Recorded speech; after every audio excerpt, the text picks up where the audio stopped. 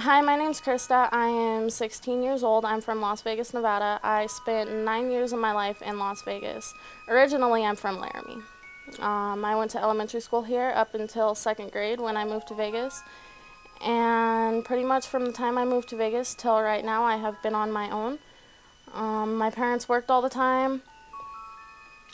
Um, and I came home from school and just locked myself in the apartment and I'd cook for myself and just fend for myself and do what I had to do. About two years ago, I moved to Billings, Montana. And Billings isn't as big as Las Vegas, but Billings is pretty good size. Um, and while I was there, I met my best friend who's like a sister to me. Her name's Katie, and I met her dad named David. David touched my life he was just an amazing person. He was always laughing, he was always smiling. Um, and about a year ago, when I was on my way to move to Laramie, I got the call from my friend Katie telling me that he was dead.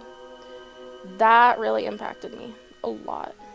Um, I started going to church at Whitewater.